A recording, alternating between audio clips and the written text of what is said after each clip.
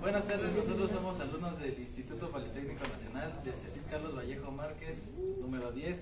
Y aquí vamos a hacer un video sobre cómo conectar dos computadoras mediante un cable coaxial crossover. El equipo está integrado por Pérez Sánchez, Rojas David, Artero Javier y Gachuzo Luis. Esta es sobre la materia redes y datos que es llevada por el maestro Carlos Villera. La conexión se va a llevar mediante un cable crossover compuesto por cable UTP por conectores RJ45 y se va a, hacer y con unas pinzas ponchadoras. Se va a hacer de la siguiente manera. De ambos lados se va a pegar con las pinzas ponchadoras hasta quedar los dos, las puntas con los, con los cables listos para insertarlos en los RJ45. De un lado del cable va a ir con una norma, con la norma T568A y del otro lado, del otro extremo del cable, va a, ser la norma T568B. Se va a llevar mediante la conexión de estos dos mismos, de tal modo que los RJ45 y el cable UTP van a quedar en este modo. Con las pinzas ponchadoras se hace una presión en los conectores RJ45 y al escuchar un leve clic, este se va a llevar a cabo. Después de todo este procedimiento, el cable UTP queda de la siguiente forma, ya con los RJ45 conectados y ponchados mediante las pinzas. Después de esto procede a llamarse ya cable crossover, de acuerdo a las normas que ya mencioné anteriormente, y pasa a ser conectado en, la- en ambos equipos.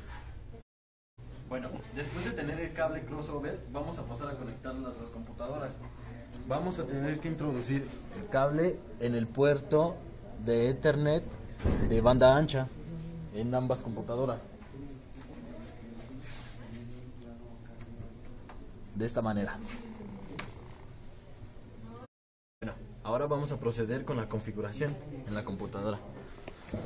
Primero nos vamos a ir a inicio, luego a panel de control. Después de ahí nos vamos a ir a redes e internet. Enseguida centro de redes y recursos compartidos.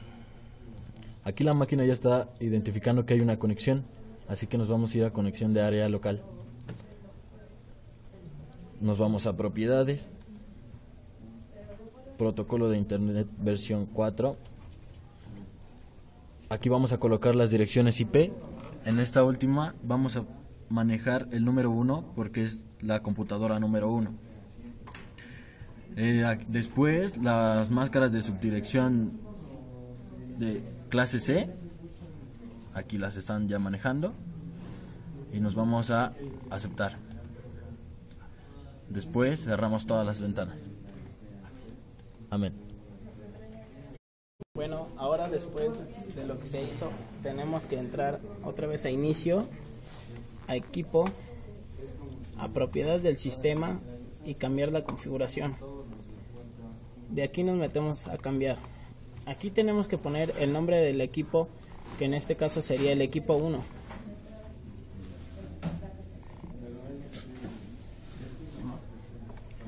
Bueno, ya cerramos todo. Otra vez a inicio. nos metemos a CMD para, para checar si ya está bien hecha la configuración.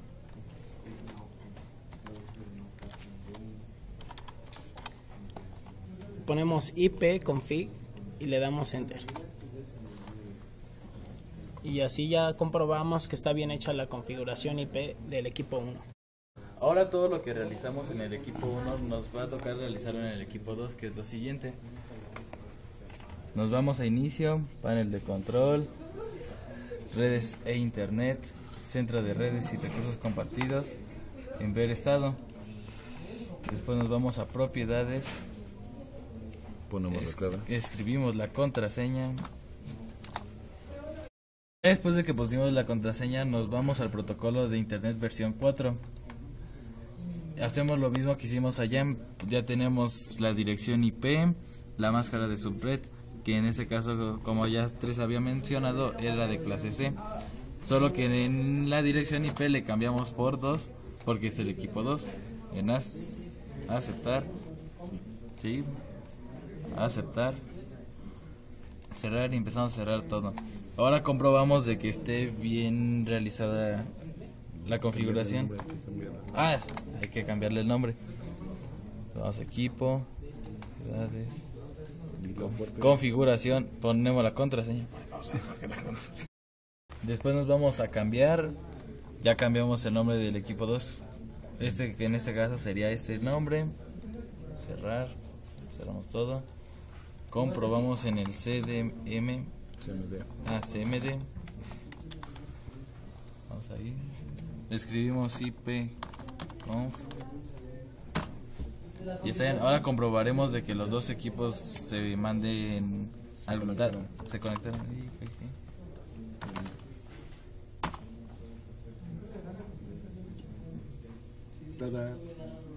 Ya están conectadas.